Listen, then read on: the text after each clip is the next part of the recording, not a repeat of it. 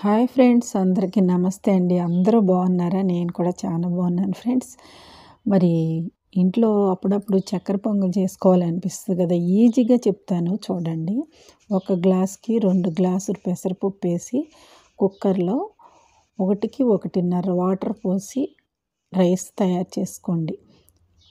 తయారు చేసుకున్న తర్వాత కొద్దిగా దానికి సరిపడా కప్పున్నర బెల్లం వేసుకోండి. కప్పున్నర బెల్లంలో చక్కగా ఉడకనివ్వండి. ఉడకనిచ్చి బెల్లం తీగ పాకం రానివ్వండి. రానిచ్చిన తర్వాత ఆ బెల్లం పాకంలో ఈ రైస్ అంతా వేసేసేయండి. ఇంతలో చిన్నగా కొబ్బరి ముక్కలన్నీ కట్ చేసుకుని ఎండు కొబ్బరి ముక్కలు చక్కగా కట్ చేసుకుని నాలుగు స్పూన్లు నెయ్యిలు మరి బాదం పప్పులు జీడిపప్పులు కిస్మిస్లు ఉన్నాయి వేసుకుని చక్కగా నెయ్యిలో కొద్దిగా ఒక ఐదారు స్పూన్లు నెయ్యి పడుతుందండి. ఎక్కువ పడుతుంది చక్కెర పొంగల్ అంటే.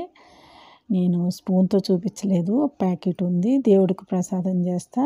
ఆ స్పీడ్లో చేశాను. కొద్దిగా సరిపడినంత రైస్కి సరిపడినంత నెయ్యి వేసుకొని చక్కగా ఇలా ఫ్రై చేసుకొని చక్కగా దానిలో మన చక్కెర పొంగల్లో వేసేసారనుకోండి. ఫస్ట్ క్లాస్గా కుదిరిపోతుంది.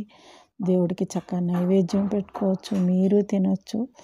మీ పిల్లలకు కూడా ఇష్టంగా తింటారండి. చూడండి ఎంత ఈజీగా అయిపోయింది. చక్కగా చక్కెర పొంగలు అందరూ చేసుకొని ఎలా ఉందో కామెంట్ బాక్స్లో పెట్టండి. మీకు నచ్చితే లైక్ సబ్స్క్రైబ్ చేయండి. అన్నదాత సుఖీభవ విజయదుర్గ ఛానల్ని మీ అందరూ ఆదరిస్తున్నందుకు చాలా థ్యాంక్స్ అండి. కుదిరినప్పుడల్లా నేను మంచి మంచి వంటలు మీ అందరికి పెట్టి చూపిస్తాను. మీ అందరూ తయారు చేసుకొని తినండి.